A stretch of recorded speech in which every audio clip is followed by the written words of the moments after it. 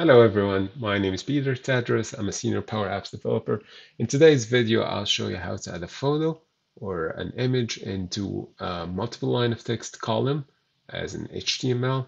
And also I'm going to show you how to edit the multiple line of text column plain text in Power BI to display as normal text. And we're going to also go through a scenario where I faced as in after we have a lot of data already stored in a uh, multiple line of text column in SharePoint as enhanced rich text, we wanted to transfer all of this data without losing that uh, CSS or HTML formatting into multiple line of text plain text. Uh, so if you would go here and just select a plain text and you think that would do it, but that will not transfer over all the HTML or CSS formatting that we had. So we just converted into plain text and we lost all the data that the user entered. We had a lot of entries. And so we had to transfer them into, um, you know, a couple of steps before we complete that. I'll show you today. So first things first, going back to adding an image into a multiple line of text column. So before we jump into this, we know that in multiple line of text, you can easily add a picture or an image. Uh, also uh, from Power Apps, or uh, it, it, needs some work around, but you can add it from Power Apps in the rich text editor, or in SharePoint, you could also add it as in here. Uh, so if I go here and if I want to add an image, I can add it. If I click here, it will give me an option here. So insert an image. Uh, also, you can do this from Power Apps, but it needs some work. Uh, you just need the link for it. Uh, in this scenario, the requirements was not to have it stored into SharePoint, not to have it stored into attachment. They just wanted to drag and drop the photo into a rich text editor and just add some description. And that's that's it. Because out of that, we generate a PDF HTML page and then we convert it into PDF. So you wanted to have everything into that PDF. There's many ways to do it, but this was the requirement. Just drag and drop, submit, and that's it. So I was able to do this into not the multiple line, not the enhanced rich text, but the plain text. And I'll show you why. So there is a couple of options if you're going to, let's jump into the list setting. So there's a couple of options for the multiple line of text uh, column. Let's open this one, the enhanced rich multiple line of text. And so this one happened to be the enhanced rich text, uh, text with pictures, table, and hyperlinks. And there is the option of plain text. And that's the one that we're going to be working with, the plain text. This is the one we've been using, and it has all the data on it but it does not accept images or photos as drag and drop. It's got to be a link. Uh, but that's again, that wasn't one of the options we have. So in order to do this, we created a new column, which is uh, text, um, you know, just happened to go text multiple lines and it's a multiple line of text, but as plain text. And so this column actually did what was needed. Uh, and as you can see here, it's plain text. So going back over into Power Apps, this is a gallery here, and this is a form. And so I am showing here two labels, one just plain text label and one HTML label for this item. So this is item number one, item number two, and three, and so on. So in that label here, this is showing one column only. It's the text multiple lines. Uh, and in the form, I my entry as the rich text editor. So if I select this item, it's shown here. If I select number two, it's shown here. So the thing about the multiple line of text, plain text, if you're showing in HTML, will show nice in HTML, but if you're showing in plain text, it will show the actual HTML label behind it, which that's not what the user wants. The user wants just to see the clean HTML uh, and that's okay. So we're going to be showing in Power Apps in HTML and no problem with that. Uh, the only problem that I found was in Power BI reports. Uh, so in Power BI, we have this column can be converted to plain text from plain text because it's already in plain text, right?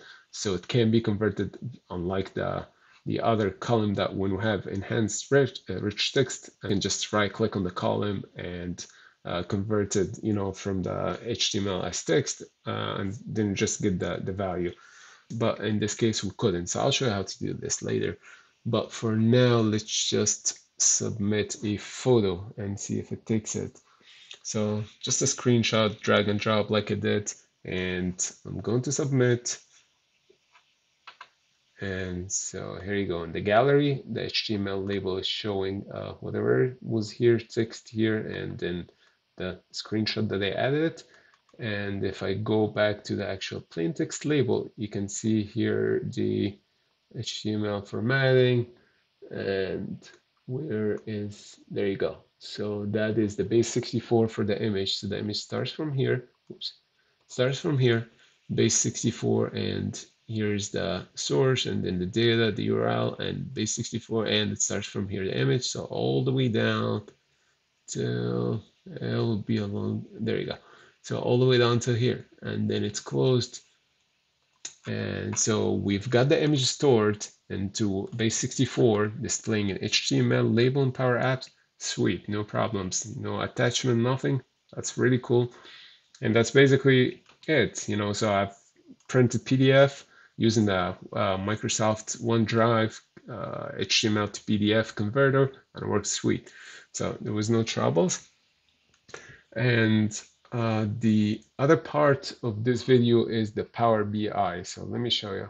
So Power BI reports uh, right here. I have the table. Uh, I have the SharePoint list, journal list. And if I throw a table in here and get ID and text, multiple line of text, we'll have all these things that we added. So you can see there's five, five items, one, two, three, four, five, and we worked on the first and the second one. So we've added uh, a photo and that was whatever we had here, uh, text and more text. So we don't want to show this in Power BI reports. And if I jump into the edit query and we will add a custom. So here's how you can see, you know, it's showing this is the column text multiple lines. Uh, it's plain text. I and it can't uh, convert it into uh, again plain text because it's already in plain text. So what we're gonna do is we're going to add a custom column. Um, let's go through that. So custom column will add HTML table and just add the column name that we wanted to transfer. So six multiple lines, and uh, then just uh, column name. I'm just gonna call it the same thing, and oops, I did this. There you go. And it's going to be the root. Close, close. There you go. All right, so we had it right here. Notice it come with errors, and these errors are for the empty values. So these three and four and five items do not have values, and it's easy. Just right click on the column and replace errors and replace it with null value. So, okay, and problem solved. Uh, we will go ahead and expand it. So if you click on these the two arrows here, expand it, uncheck use original column, and there you go. So we have plain text. So what it did, it removed the base 64 for the image and just kept the plain text, remove all the HTML formatting and just kept that. So here's the text we have. And it makes sense because we don't want the photos or any of this in the Power BI reports. We just want the text. Uh, and so there you have it. I will go ahead and remove that column. I don't need it anymore, the older one. And I can just rename this uh, into uh, the newer one I had. So if I want, I mean to the older one, I'm sorry. So it should just be the same and will go in all the filters that you had, all the locations. So that will be it. So if I'm just going to close and apply and give it a second. there you have it. So I didn't even change the column, it just replaced it, and I have these values here. So sweet. The other part of the video is how to transfer enhanced rich text into plain text without losing the HTML or CSS formatting styling into, into the column. Uh, so in order to do this, there's a bunch of ways you can do this. Um, one of the ways is I created a temporary column. So for example, if this was the old one that we had the data on, and we wanted to move it into the new one, uh, you can just create another column in the same list in as plain text. And we'll go ahead and let's do this actually. So I added these columns here, these buttons here. So I'm going to add it as a collection. So I'm going to collect the column, the enhanced rich text column that we have and the ID, just these two into a collection. So clear collect, just temporary data collection, and just gonna show the columns. This is the SharePoint list, general list, and the two columns that I want is ID and enhance. So if I go ahead and click this, let's see what we have. All right, so we have three items for this column that they have formatting. Uh, if again, if I go ahead and uh, transfer this column or transform this column into plain text right now, I'm going to lose all of that. So don't do this. You have to do the conversion first before you go here and you make it plain text. So if I do this, I'm going to lose everything. So just keep it as enhanced rich text for now. And in Power Apps, I added them as collection. And on the second button, I just said for all uh, the collection that we collected and then uh, patch the general list ID to ID. And we're going to patch the new column, the plain text column, text multiple lines of text. And we're going to patch the data of the old column. So if I click in here, noticed it took the enhanced rich text that we had and it moved it into the plain text, which is awesome.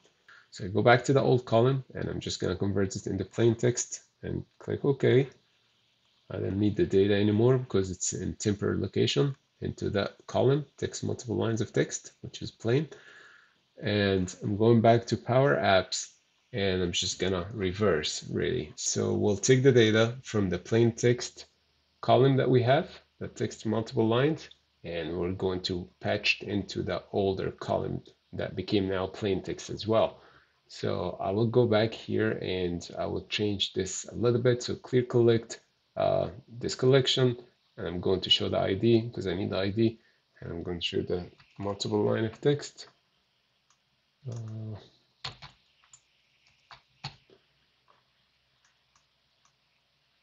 I'm too lazy to type at this point. I guess I have it somewhere here.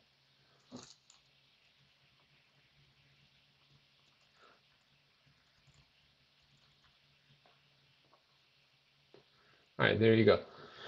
So I'm going to clear collect this and I have my data.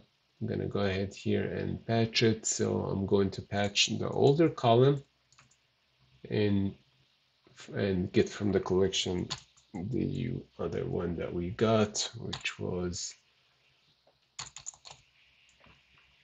text multiple lines. And if I patch, I should have the new data into the enhanced rich text. So copy. I'm gonna go to the gallery and change this uh, this item dot. So I'm gonna remove this temporary column and add hours, and I'm going to go into the label as well.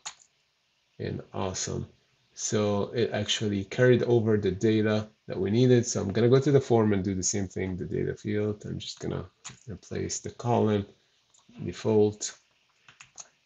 All right, so sweet. So we have all the data that we had before and did not lose it, still in the HTML format. If I want to now go ahead and add photos, let's try that.